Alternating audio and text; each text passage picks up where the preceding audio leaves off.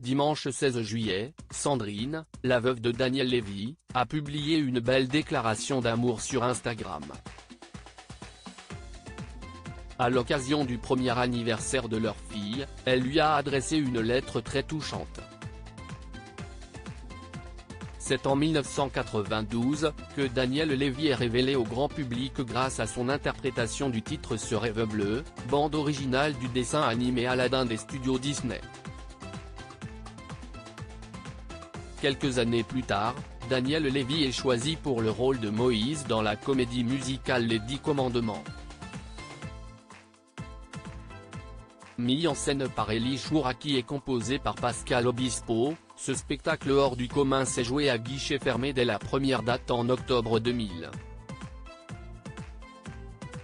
À la fin des Dix Commandements, Daniel Lévy a continué avec une carrière solo en publiant plusieurs albums. Malheureusement, en 2019, l'interprète de Mon frère est diagnostiqué d'un cancer colorectal. Il décédait le 6 août 2022 à Marseille.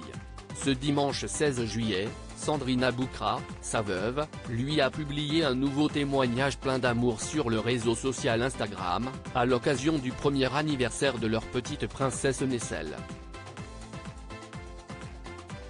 15 juillet 2022 notre princesse naissait dans cette nouvelle publication composée de deux photos, on peut apercevoir la petite Nessel blottie tendrement contre sa maman, et un cliché inédit du couple formé par Daniel Lévy et Sandrine Abroukat enlacés et amoureux. Le carousel photo est accompagné d'un doux message. 15 juillet 2022. Notre princesse naissait. Tu as voulu que le monde entier sache que tu étais à nouveau papa et malgré ta fatigue, tu as trouvé la force de l'annoncer en enregistrant une vidéo. Tu hurlais de joie en chantant son prénom, si tendrement composé et qui ne pouvait être autrement. Nessiol, miracle de D, a-t-elle rédigé. Dans la seconde partie de sa lettre, Sandrine a exprimé tout son amour à son mari défunt, tu ne fais que de t'éloigner de nous pour un temps car le meilleur est à venir. En attendant ce jour, sache que je t'aime, que nous t'aimons à la folie de l'amour. Happy birthday à notre princesse Nessiole a-t-elle conclu?